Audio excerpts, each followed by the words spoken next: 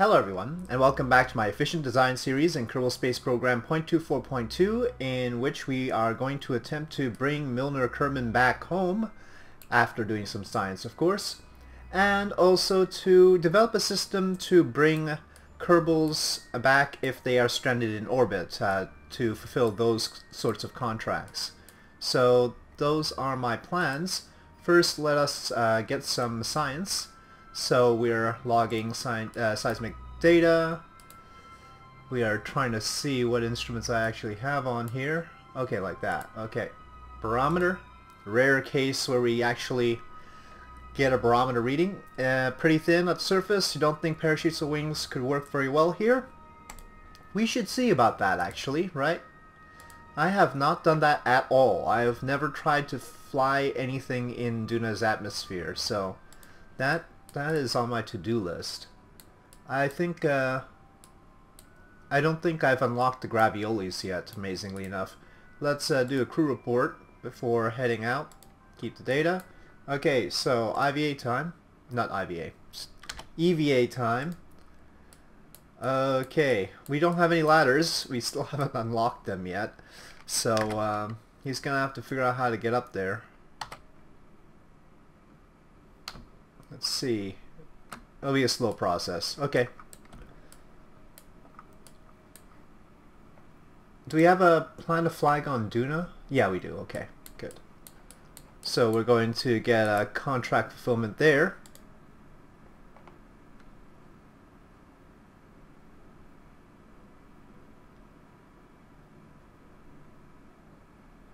Okay, so uh, Milner on Duna and today's date. Oops, not 9 anymore. Okay, uh, contract fulfilled. Indeed.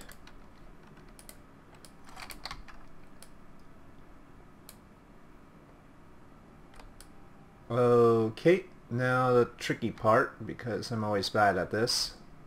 Oh, wait, wait, what am I doing? Surface sample. EVA report. Now I get back up there. Alright. Face the right direction.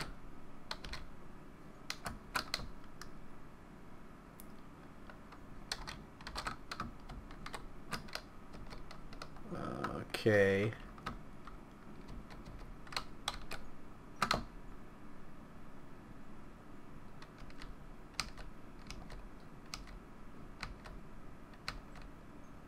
Go up.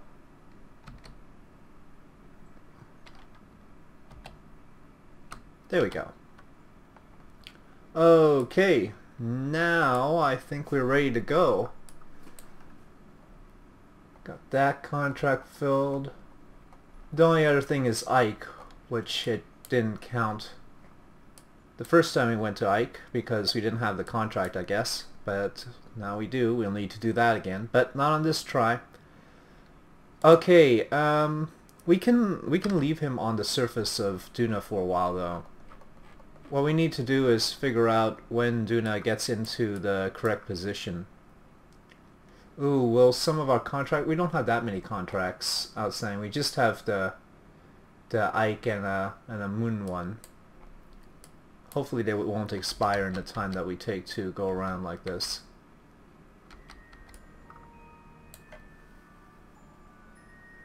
Uh-oh, we got another thing. Aha, uh -huh, yeah. Space around Duna didn't get that one. Uh, not Duna, around the moon. Huh. Amazingly enough, I wonder how we managed to miss that one.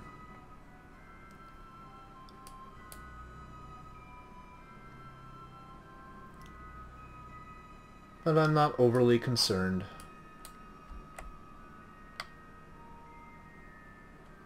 Okay, I think that should be about, well, I, am looking for 75 degrees between these two. Uh, that's about right. Okay, now, now Milner, let's, uh, let's take off and see what we can do about this. Uh, should have plenty of fuel.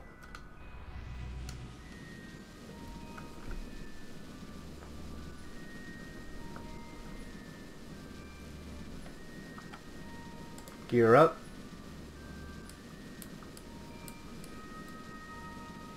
Uh-oh. I have to transfer fuel from the exterior tanks. Forgot about that.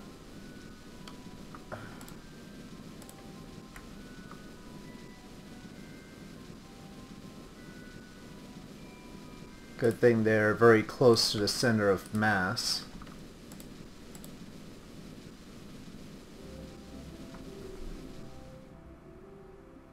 You'll notice I'm not uh, intending to rendezvous with anything, and that's because I think I might have enough Delta V just to head straight back home instead of trying to uh, rendezvous with any of these fuel extensions and such stuff.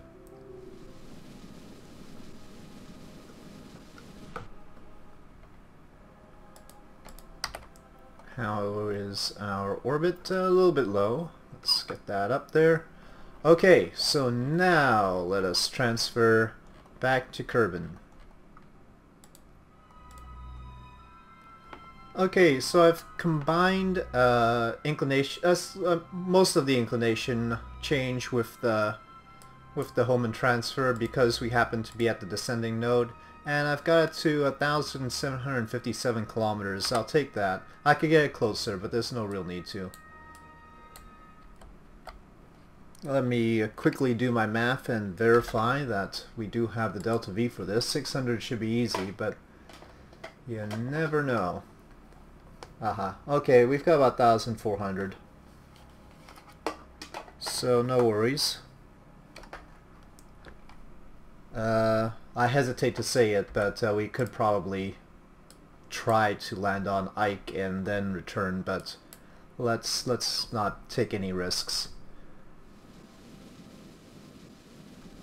Now I'm not going to do a mid-course plane change. What I'm going to do is go straight into the the sphere of influence of Kerbin and then readjust based on what aerobraking calculator tells me I need to do.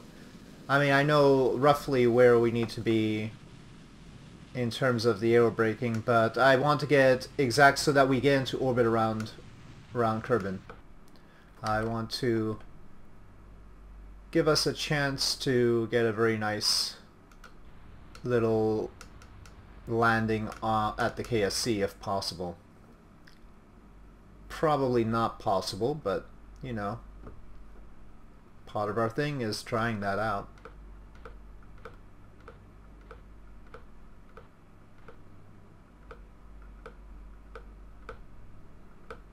Yeah, it won't be much to correct either.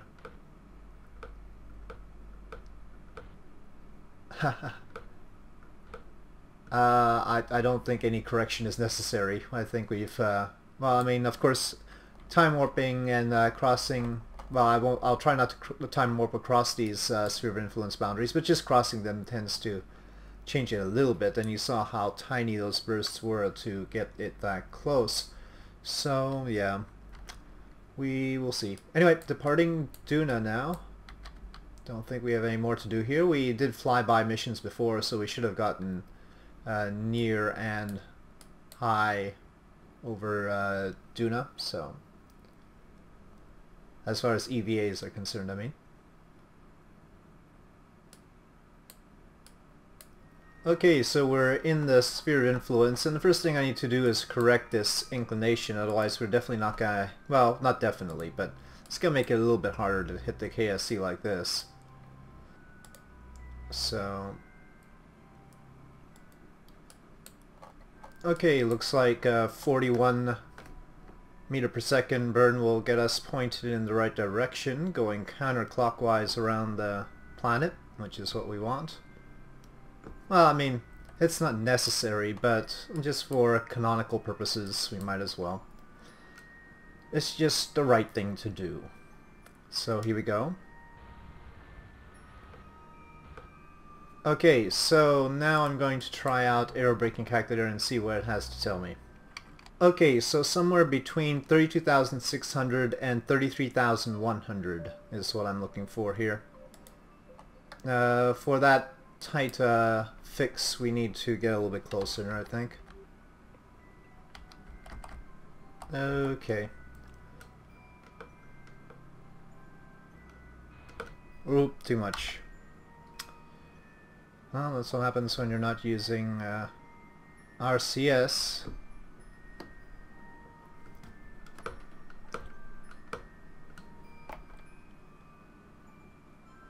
Okay, well that should be good enough. 32,750.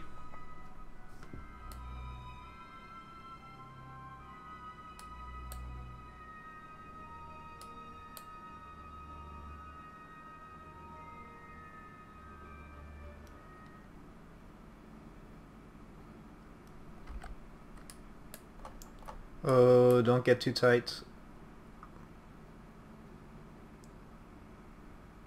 We have passed periapsis, so that's a good thing. Uh, our apoapsis is still... No, I mean, I wanted it between 200 and 400, so this is what it's supposed to do, but... When you're aiming for that close a mark, always a little bit worried that it's going to end up a little bit too close.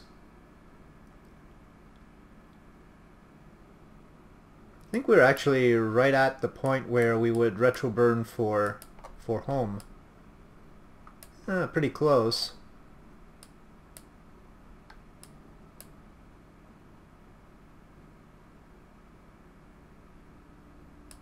I think I might try a steeper descent this time. Burn out of this descending node, try and tilt it up, and also uh, burn in. And so we're going to be basically coming straight down on the KSC kind of thing. Uh, it's lower than 200. Good thing I left a little buffer there. Uh, pretty good otherwise.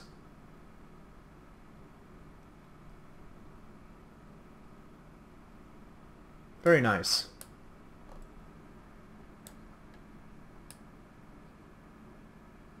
Let's try that. It's a totally different approach than what I've been trying so far. So, don't know exactly how it'll go.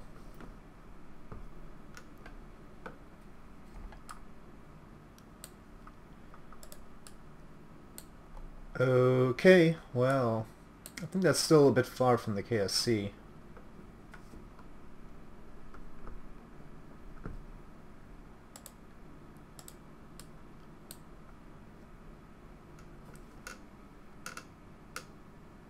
Well, that's the end of our fuel.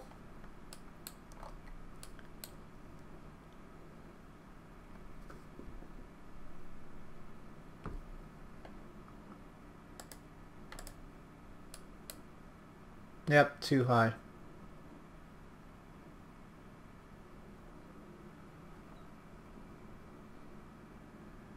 Okay, parachutes.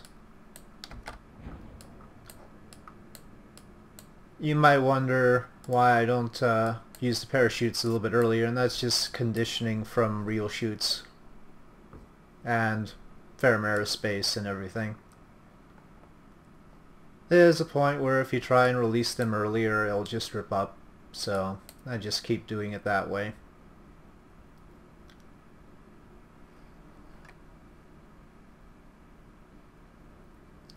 Okay, parachutes open, 5.5, 5.4 on the velocity. That should be safe.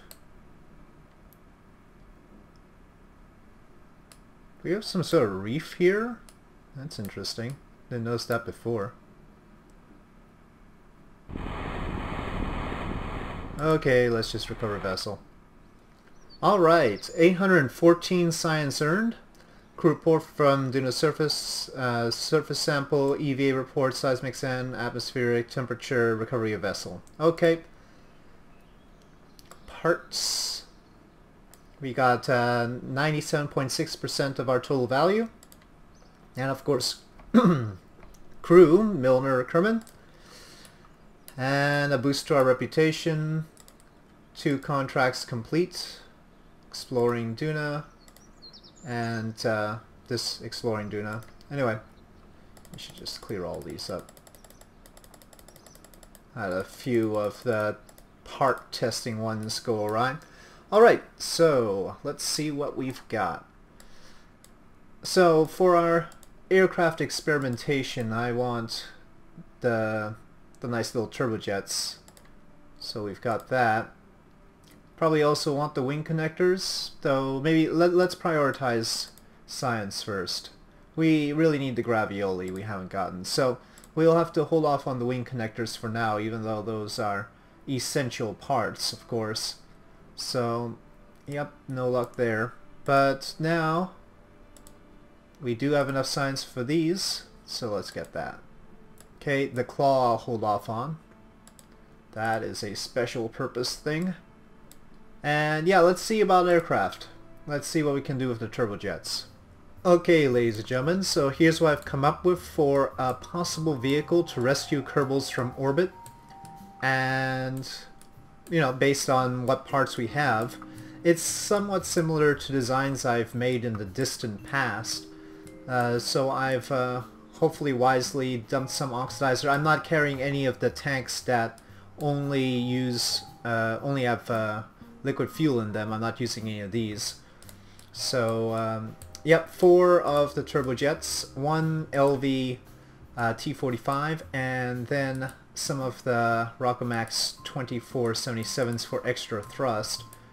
Um, like I said, uh, similar to something I did a long time ago, I've got the roundified monopropellant tanks here. And uh, I've got the fuel I don't know if this will even work properly, but I've got the fuel lines going back and forth because um, eventually what's going to happen is these tanks are going to empty and uh, because of firing the main rocket. But then when we return back into the atmosphere, we want these jets to be able to run. So if these tanks are empty, then they'll say that they don't have any fuel. So we need the fuel lines running back as well, so it's sort of complicated. Hopefully that'll work out. Just in case it doesn't, I have uh, got a decoupler and uh, parachutes here. Uh, the front landing gear is on a decoupler. Uh, that's partly because uh, this little small hardpoint is a bit too small uh, for the profile that I want. I don't want the nose pointing towards the ground, that's unsightly but also because if we do need to escape and use the parachutes then we can dump the landing gear as well. So yep, all of that is good. I've got everything action grouped as you can see. Uh, the Rockomaxes are, they're, they're sort of for more fine-tuned adjustments once we're in orbit. Also, uh, they're very helpful for that sort of thing, even though they're not efficient. But we don't want to keep running the LV T45 all the time if we're just trying to boost towards a target and stuff like that. So that's part of what they're for, though we do have the RCS as well. Okay, so uh, I think that's uh, all of the ideas and I can show you the center of mass and center of lift are like that. Uh, most of the fuel as you can see is right along the center of mass so hopefully that won't change too much uh, as the flight uh, goes on. So yep, we'll see about that. I need to uh, find a Kerbal to fly this crazy thing. Uh, let's not uh, carry any of the uh, people that we have here. Let's hire a few others. So we need somebody very courageous. it seems like Kalrod Kerman is the best bet. I, I can't resist not getting full bar, Kerman. Uh, any interest? Lem Kerman. That's interesting. I like that name. Uh, Guzfrey and Tom Doss. Both seem like good pilot material. Okay, let's go back.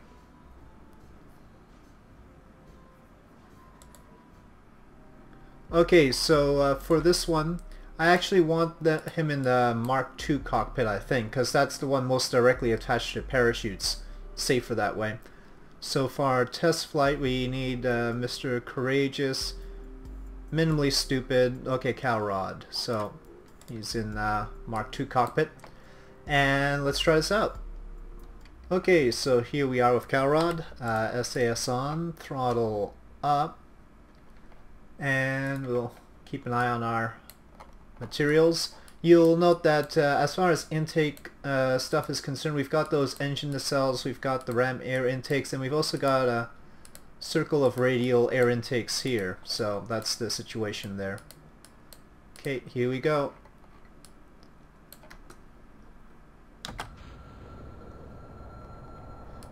Now this is a very heavy thing with very little by way of lift, as you can see. So I'm not expecting to rotate anything less than 100 meters per second.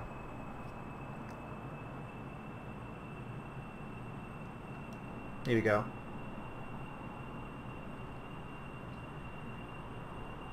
Okay, rotating.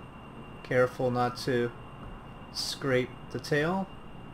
Uh, we've got, I got it uh, just in time. Not, uh, of course, uh, the end of the runway has that lip where where uh, it could be very helpful. But uh, we were off the ground before the end of the runway. Just barely, though. Very heavy design. Cow rod is scared stiff. It's the view from cow rods. Oh, no wonder he's scared. Not even the slightest bit of instrumentation. Well, uh, yeah, I guess it's a good time to talk about 0.25, huh? Uh, so I guess we'll be getting some serious uh, cockpit redesign in 0.25 and uh, hopefully all our cockpits will have instrumentation in it now. Um, that's that's one benefit of 0.25. I'm not entirely rushed about upgrading to it. i am still sort of in uh, getting my feet wet in uh, 0.24 as far as I'm concerned. And of course I have to wonder what to do about this series when 0.25 comes out. I'll, I don't know, I, I, with, with all the changes with the administration stuff and all that, I don't even know if it's possible to upgrade our saves. I didn't see anything about that on KSP TV this weekend so far. So maybe there's a possibility of upgrading saves, but I doubt it. And in any case, it's been my pattern to always uh, start a new version stock. So I, I think what I'm I think what I'm going to do is I'm going to find a way to sort of marathon the stock thing. So I'll just try and uh, record a whole bunch of it, like uh, one or two nights or something like that. Uh, see how fast I can go, and then chop it up like that and then uh, and then I'll keep going on with this series in 0.24. I would think that uh, it's not really, I mean obviously our thrust is not going to be a big limiting factor in this case. Neither should intake air be.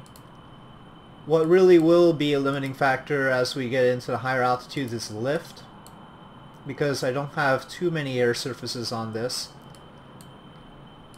And so what I would anticipate is we're going to probably have a loss of lift at some point. I don't know where though. At that point I'm gonna need to fire the rockets. Let me try and build up speed a bit. Just uh, careful. I don't want to lose vertical velocity, but I want to try and give it a suggestion to pick it up a bit. Get more air moving across those airfoils to create lift.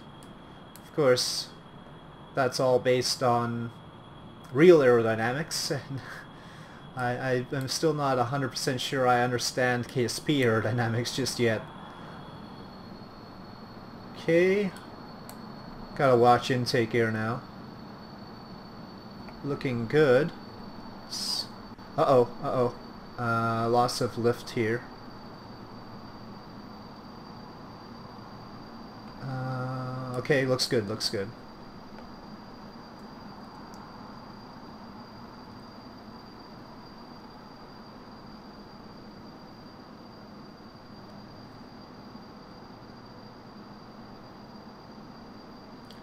I'm going to say 0.24 for the limit for these engines on the intake air.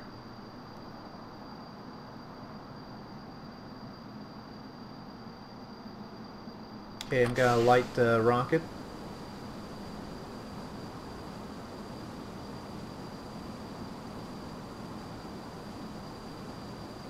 Uh, I'm being very iffy here. Okay, I'm gonna shut off the jets now. Oh! What, what's with the... don't turn?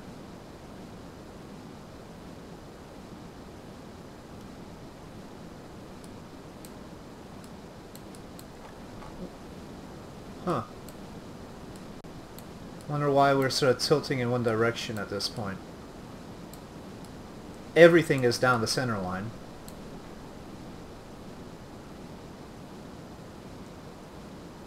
Ooh, this doesn't look like it's going well. Can we...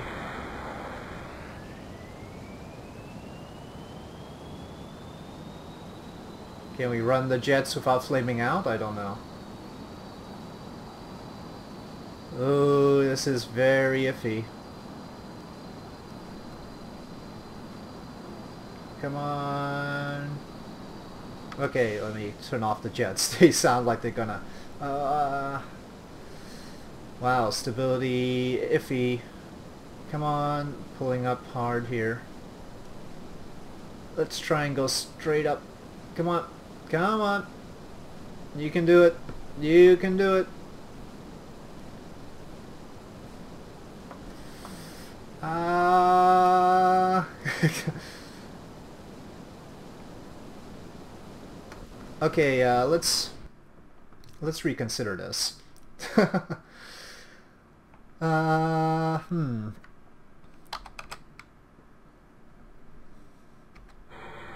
How much can these jets get away with?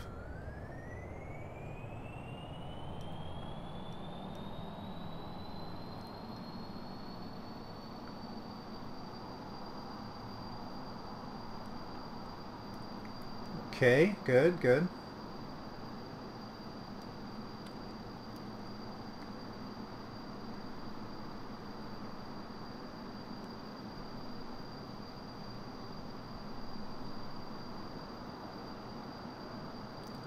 This is a test flight, folks. It's amazing it's working out as well as it is, of course.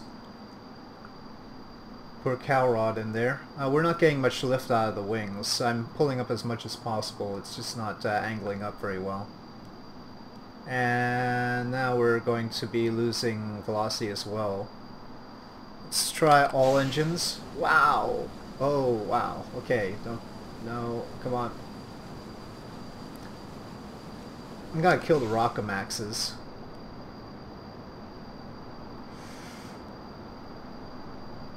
Come on.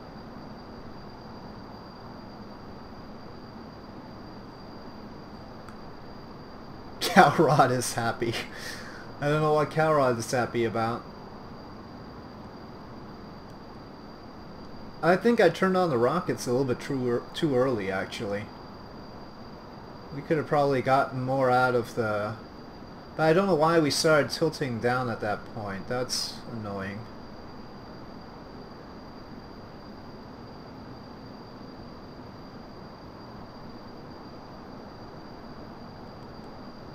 Good thing we don't have deadly reentry. That's the only reason I'm trying it like this. Otherwise, uh, I would definitely not be. And of course parachutes, right Calrod? Calrod's happy because he's got parachutes.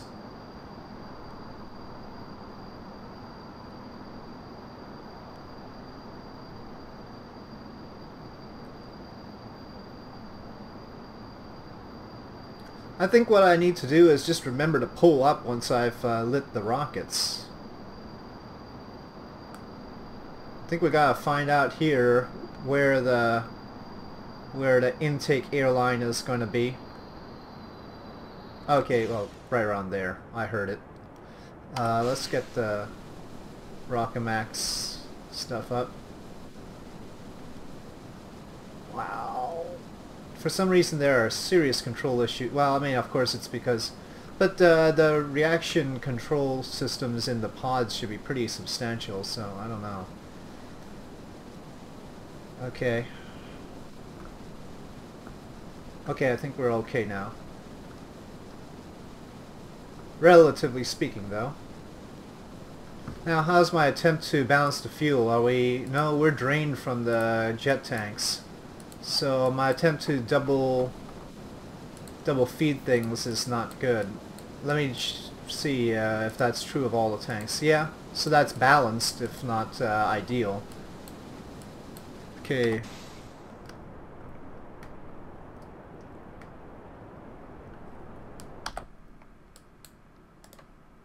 Okay, let's uh, shut it off here.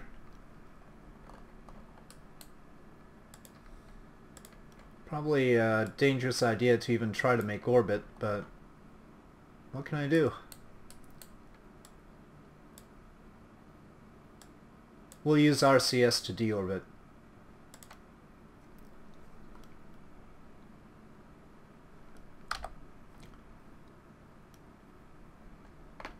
We can dump about 160 units of oxidizer. Looks like.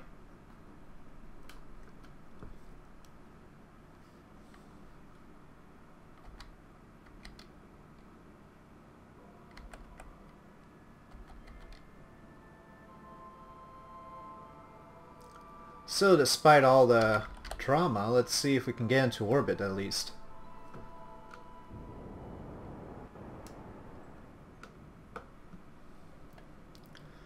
Well, we'll call that close enough to orbit. Keep things a little bit safe. No, I don't think uh, KSP agrees with me, so it's not giving me particularly good camera.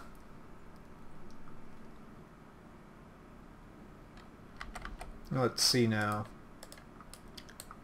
Let us say that I sort of go like, well, that might land too short. Not short, long. E. Well, we've got lift, so I really need to take that into consideration. Let's say that. How much delta V does our RCS system have is what we're currently going to ask ourselves. And I'm gonna turn off that engine gauge RCS and use the throttle I suppose. Does that work?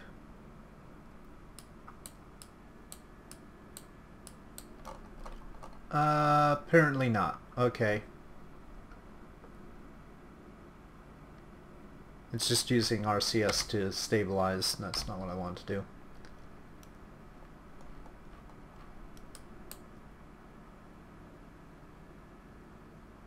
Wow, not much delta V at all, actually.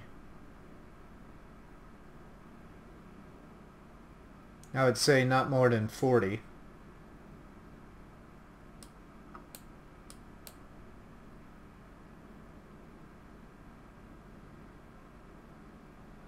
And we probably need to use the rockets then.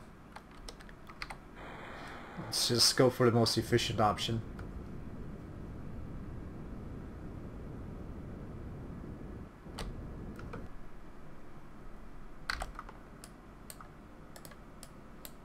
Okay, we'll go with that. Probably that'll make us land short, won't it? Ah, turn RCS off now. Because we're headed through the atmosphere all the way.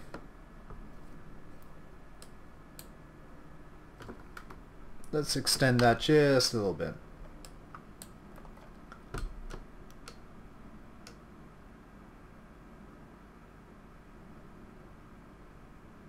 Try that out for size. Okay.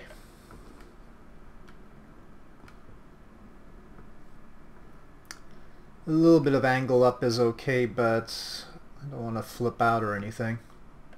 We got enough electric charge to hold things steady, I hope. Now, let's say I turn off the rocket and withdraw down engage Oh, they do read a little bit of liquid fuel. Okay, so they can draw, I guess they can draw from uh, the center tank, even though the external, I thought the tanks would all balance out, but I guess they don't, but they can still draw from the center tank. Fair enough. Uh, well, I hope that's the case. It read some liquid fuel there. Uh, not much liquid fuel though, only 56 units there. We shall see. Okay, this is getting a little bit much. I'm gonna get all my abort stuff into the same stage so I can panic appropriately.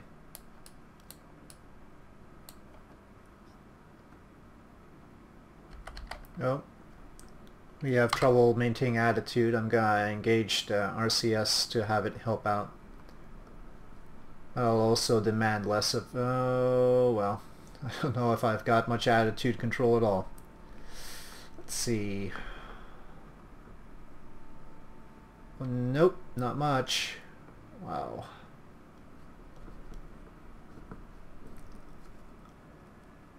I'm letting go of the control stick, it does that. Okay, well, I'm gonna have to control this manually.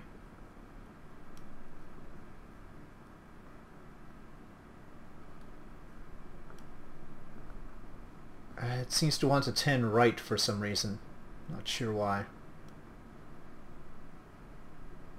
If I flatten out, it wants to go right.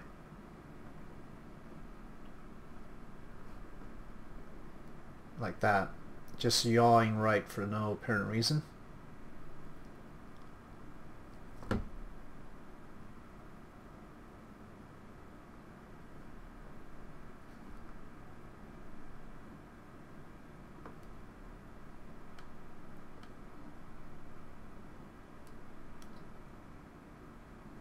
At a reasonable altitude to run the jets.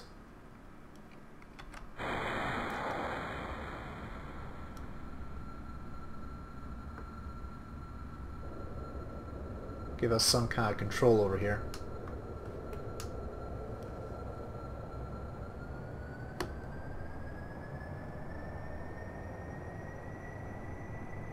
Definitely don't want to hit the mountains.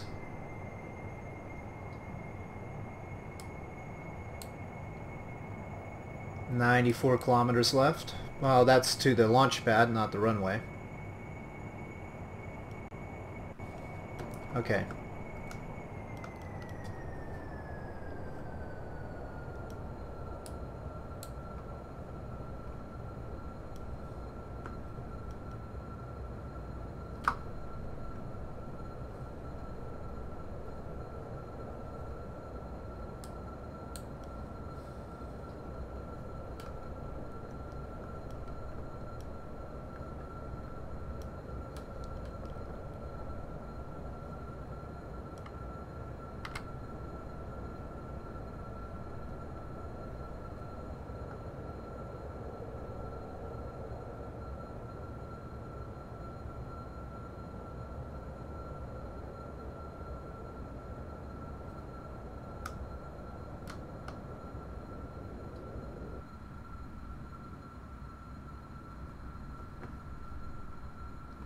Whoa, whoa, whoa, whoa, whoa, no, no, no, not that, that, not that, not that, nope, nope, nope, nope, nope, nope, nope, nope, don't do that.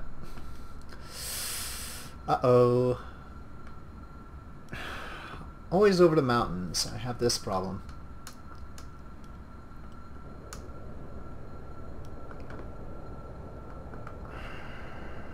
Come on. Crud.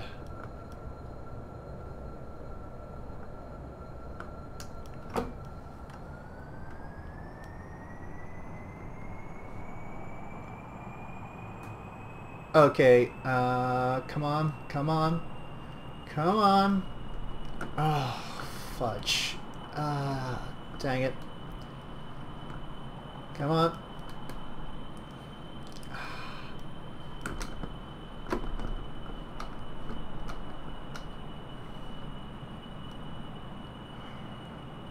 Uh, I don't think we've got enough fuel for this.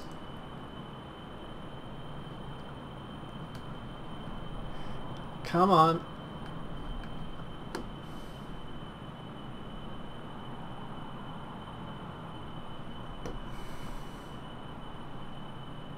Nope, nope. Okay, eject. Eject, rod. eject.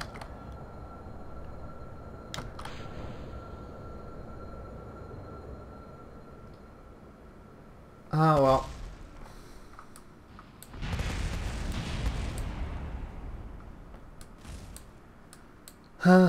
well, I mean, it was a troublesome plane to begin with. Uh, we've got uh, got some hope, though. Yep, uh, I mean, we got into orbit, and just need to uh, tweak the aerodynamics, possibly the center of mass a little bit on return. Maybe move the monopropellant tanks forward might help. Don't know. They were pr pretty much empty at that point. Though they do have an empty mass, so... well, I mean, uh, considering we had trouble on the way up as well, it wasn't too bad. Now let's hope that uh, uh, you're descending a little bit quickly, unfortunately, and on a slope. Let me try and recover you quickly before... Uh, okay, I guess I can't do that. Oh, shoot, it's going faster. Uh, can we put... Oh, maybe that's a bad idea. Oh, aww. And it's following that capsule. No, I... I oh, we've still got Kalrod. Okay, good. Uh, and surprisingly, breaking... You know, oh boy. Come on, Kalrod. You can do... Uh, if I can see the recover vessel thing, I'll do it. Ooh, brakes actually work on this sort of thing, huh? Okay. Alright, narrowly saved Kalrod at least. Uh, valiant, valiant Kalrod who, uh, who took a very untested plane up. Lots of problems with the plane, but uh, we've, we've got hope. I think uh, we're headed in the right direction as far as that stuff is concerned. Well, I might come up with something completely different, honestly, but uh, we'll see. Uh, anyway, so this has been an adventurous episode. We got our our guy from Duna back, and then we tried this little plane, the X3. So, thank you for watching. If you enjoyed this video, please do press like. If you have any comments or suggestions, please leave the comment. Uh, please leave them in the comment section below, and I'll see you next time.